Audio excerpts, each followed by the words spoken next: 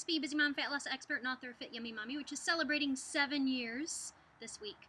And as a bonus, I am making some extra videos for you based on your requests.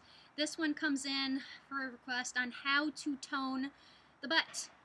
Well, I like to talk about more of targeting the butt and helping to shape and create that beautiful backside. I have five favorite moves that I want to share with you today that do exactly that. And this is actually one of my favorite body parts to work and something that I have really been focusing on to help create more curve, curvature. And because of that, my clothes don't fit like they used to, and that's okay because I'm really working on that nice curve, that shape. So in order to get the most out of these exercises, know that you are doing this within a full body strength training workout.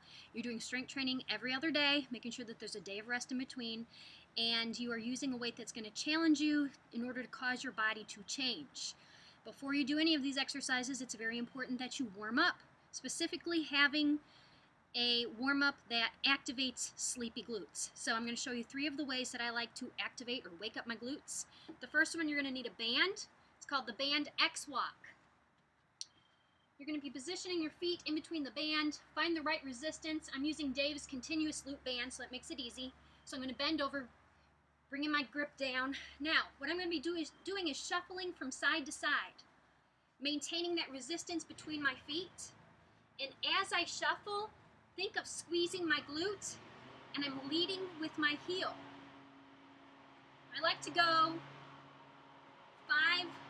eight repetitions on each side, two to three rounds, and you'll really start to feel that burn. It's very important that your foot stays, your feet stay parallel and that you're thinking of leading with your heel. It's going to help activate that glute.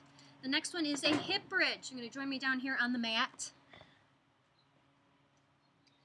So lying down, you want to make sure that you are, your, your feet, your legs are bent, your knees are hip distance apart. We don't want any knees going in or out. You can always place a ball between your knees to help make sure they're in the right position. And you want to think about the fact that you can wiggle your toes. You're going to drive your heels down into the mat as you squeeze your glutes and you elevate your hips. Now it's very important that you elevate them using your glutes, not your lower back, so you don't want any hyperextension. And the best way that you can check for that is that when you get to this point, you should be able to draw a line, straight line from your knee to your hip to your shoulder. There should be none of this. And at the top of the bridge, you can pause for two to three seconds, take your fingers and poke your butt. It should feel hard even if you have to go through a few layers. That means that you are activating your glutes. Eight to 10 repetitions of the hip bridge is great. You can always make it more advanced by extending one leg, or you can always bring it up, or you can bring your knee in, key here is though that you are feeling it in your glutes. If you do not feel it in your glutes, you're feeling it in your hamstrings, that means your hamstrings are taking over because your glutes are not awake. Walk your feet out slightly.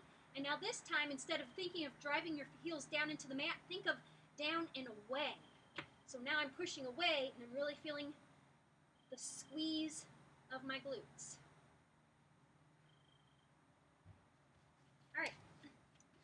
Next exercise, the bird dog. So you're going to get on all fours.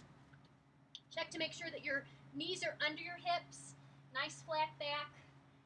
Wrists are under your shoulders, and you're going to take one hand across, uh, straight out and your opposite leg straight out, making sure to find that balance.